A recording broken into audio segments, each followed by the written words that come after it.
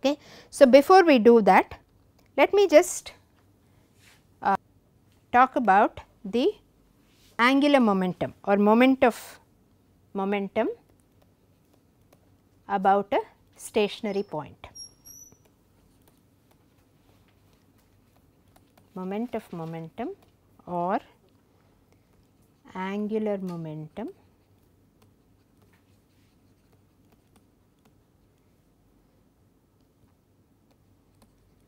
about a stationary point.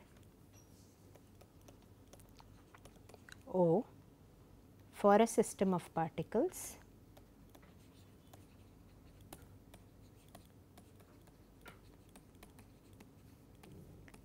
Is defined as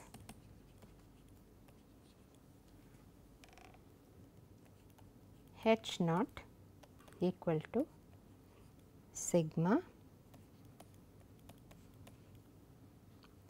cross mi m i v i.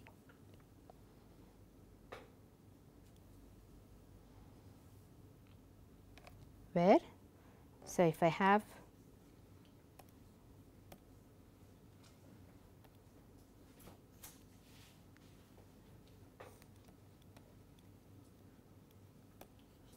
y axis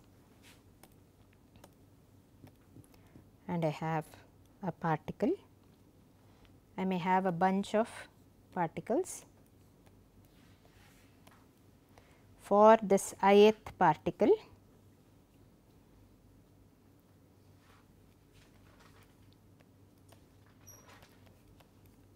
So, this is a fixed it is an inertial reference frame x y is an inertial reference frame r is the position vector of the ith particle in this reference frame and this particle i has some velocity v i.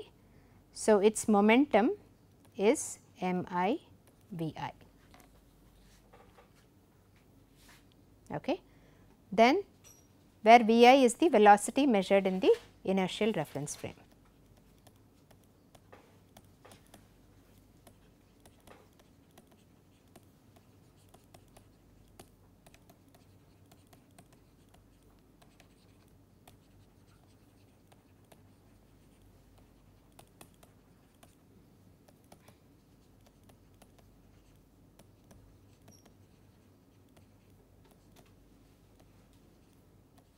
O x y z.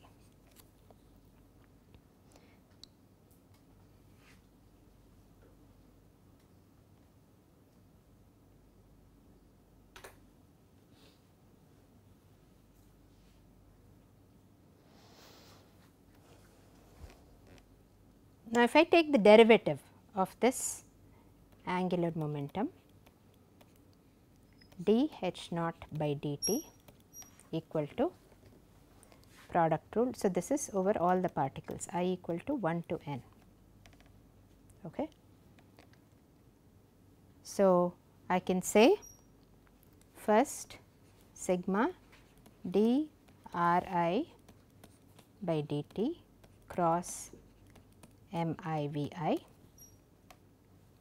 plus now. So, I differentiate the first term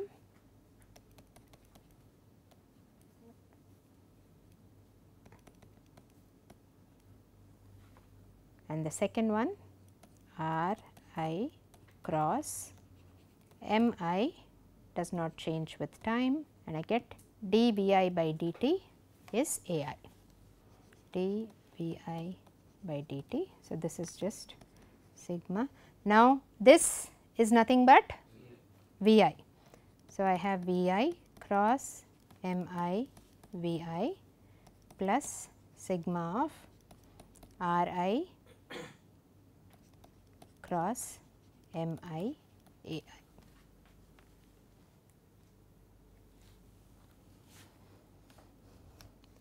Now, this cross product, this is 0, V i parallel to m i v i. So, this cross product is 0 and this is essentially the resultant of the net force on particle i, MIAI. The acceleration of particle i, MI, MI times the acceleration of particle i is the result of the net force on R i cross F i. So, this is F i is the net force on particle i. And this therefore, I can write as R i cross F i, so sigma of that is nothing but the sum of the moments about point O. So, this is the resultant moment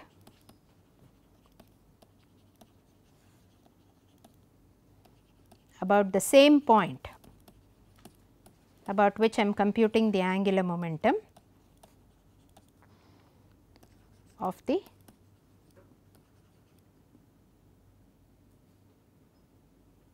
net force on particle i.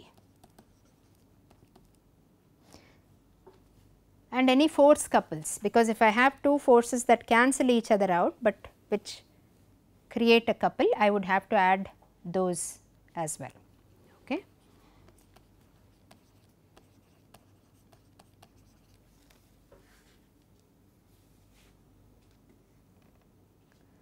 So, this is the principle of angular momentum about a fixed point it says d h naught. So, it is important that you keep this in mind. This is about the fixed point sigma m naught equals d h naught by dt for the angular momentum about a fixed point. Now, let us look at the angular momentum principle about a point that is other than a fixed point, okay, some arbitrary point.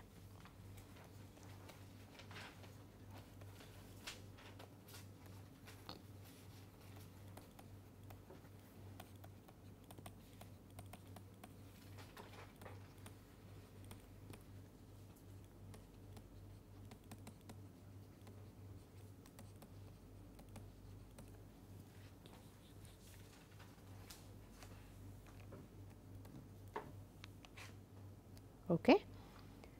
So, about an arbitrary point B whose velocity with respect to an inertial reference frame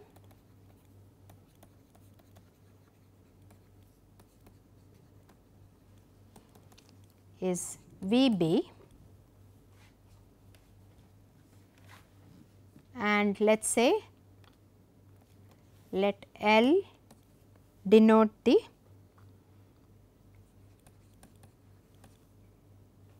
linear momentum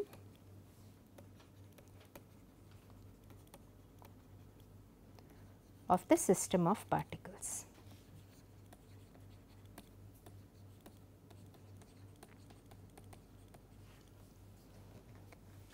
So, L equals sigma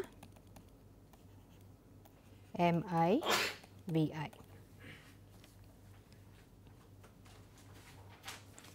And h b then the angular momentum about point B I define it as i equal to 1 to n r of i relative to B cross m i v i. okay. It is still MIVI here, it is not the relative, I am looking, you know, I am looking at the moment of the momentum of the particles, but about a point B. So, only this vector is the relative vector. Okay. So, if I look at Vi is the absolute velocity about Vi is the velocity in the inertial reference frame. Yes, it is not about you know relative to b. Okay. Need to be clear about that. So, if I have i and I have a point b, okay. so this is O.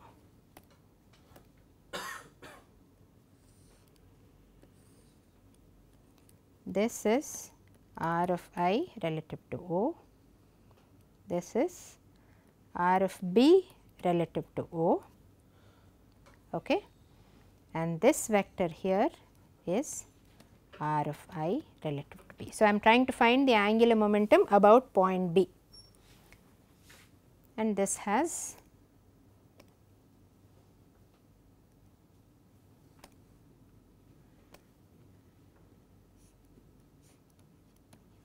momentum m i v i the point B, the ith point. Yes. When i goes from 1 to n is b included in that? Or is it apart from the collection of particles? B is not a particle, B is an arbitrary point in the plane. B is not a particle. Okay. B is not, in, so the n particles do not, so B could coincide with some other particle, but it is just a point in the plane.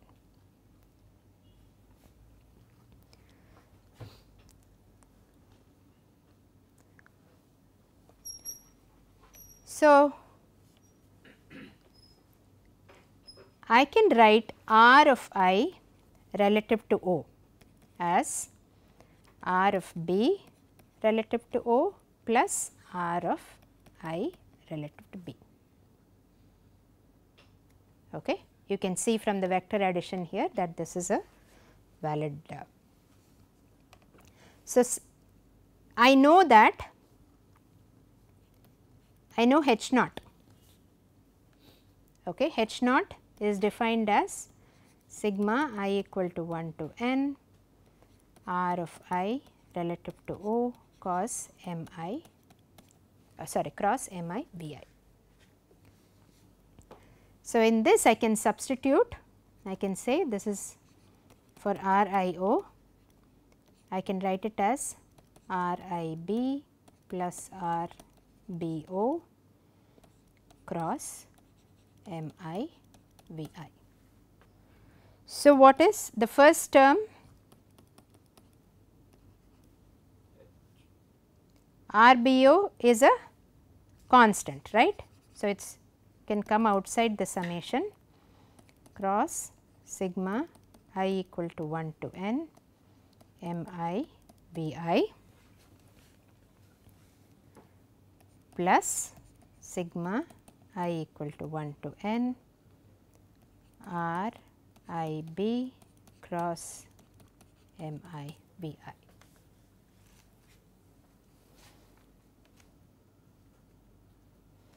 So, this is equal to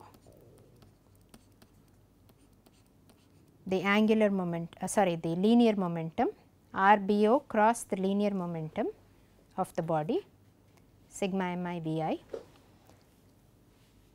plus this is h b angular momentum about point B. Okay. So, this is the first.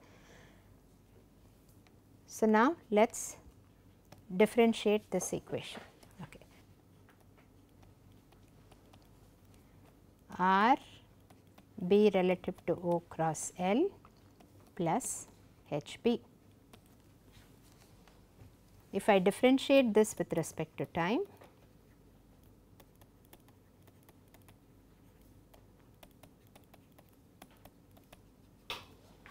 I have d h naught by dt equal to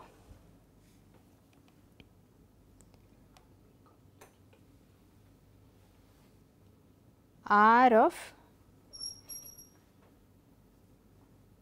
this does not change right.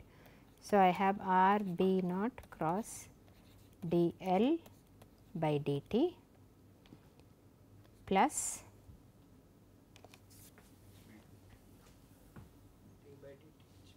d by sorry d r I, I, I am changing uh, I am saying point B has a velocity it is not a fixed point this time.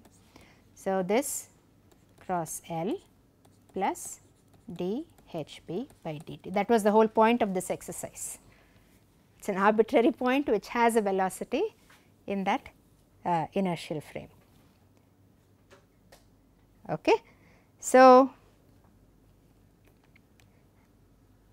this is one equation.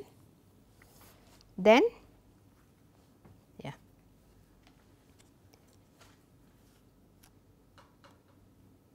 If I look at m naught and do the same thing,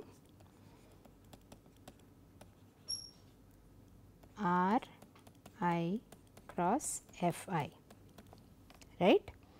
So, this is equal to sigma i equal to 1 to n r i naught is r b plus r of i relative to b cross f of i.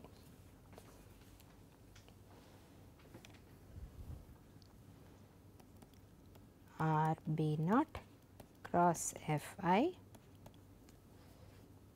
plus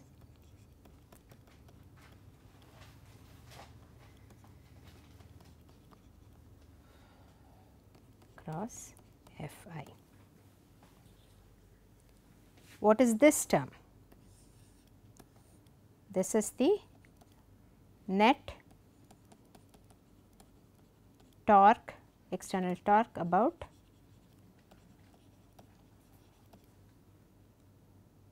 point P. Sorry, Summation for the first. Sigma fi. sigma f i. So, sigma f i.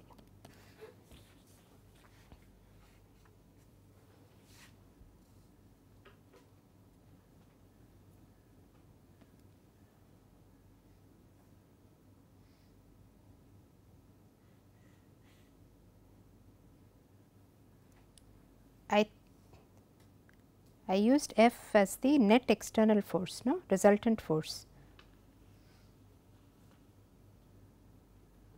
Yeah, okay. So, sigma Fi let's let me call it just F.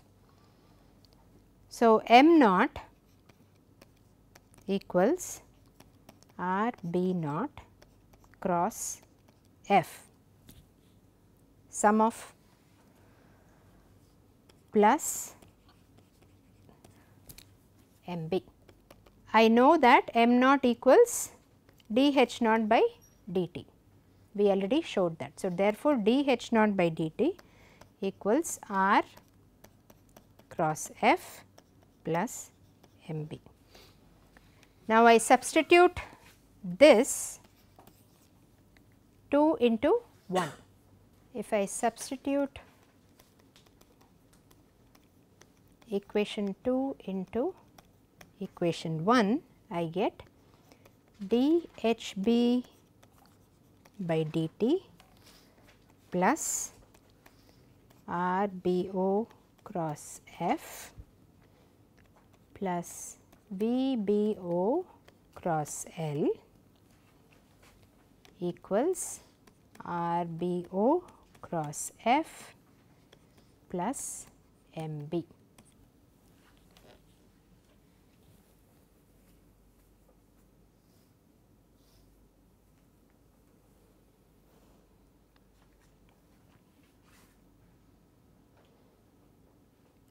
So, this goes, this goes.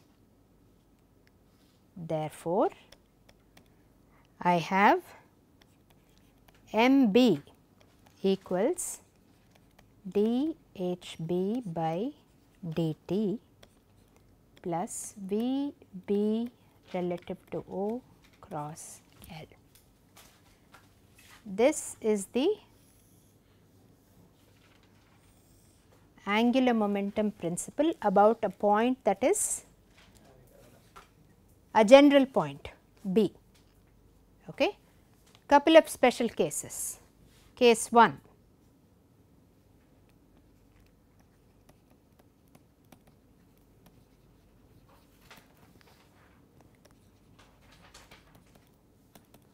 velocity of B relative to O is 0.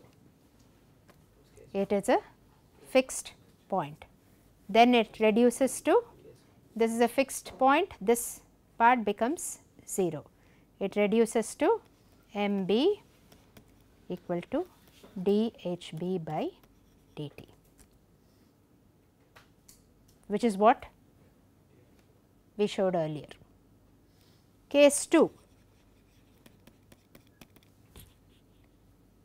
suppose B is the center of mass of the body.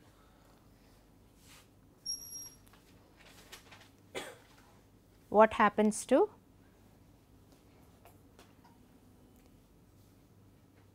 V B O cross L? What is L? L here equals sigma i equal to 1 to n m i v i. This is equal to sigma m i times v b o if B is the center of mass. Therefore, this now becomes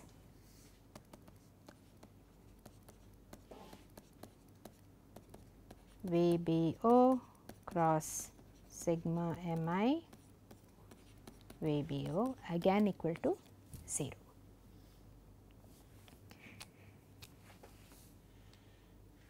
If the velocity of this point B is parallel to the this momentum, the linear momentum again it will be 0, but you are more likely to encounter these two cases. Okay. The mathematical relationship will hold when, whenever VBO, uh, whenever VBO is parallel to L. Okay. VBO cross L will be 0. Okay. So, for all those cases MB will be equal to DHB by DT. The special cases, the cases that we are more likely to encounter involve the case where B is a fixed point or B is the center of mass. Then again you have MB equal to DHB by DT. But this is something that is important to remember because in a lot of cases you tend to apply this equation m equal to dh by dt, you will apply it to arbitrary points whose velocity may not be 0 or whose velocity uh, who or points which may not be the center of mass of the body. It is a common mistake that people make and that is the reason I went through this derivation. Okay. So, um, the thing that sticks from the undergrad uh, angular momentum principle is m equal to dh by dt. Okay, you do not really care about, you, you know it works for a fixed point, you know it works for the center of mass, but it does not work for an arbitrary point because there is this additional term. Okay. So, that is important to remember and because we will encounter this I wanted to uh, do this derivation. So, we will next class we will take up the case of this person doing these arm lifts with the dumbbell, the case of angular motion and we will proceed with that.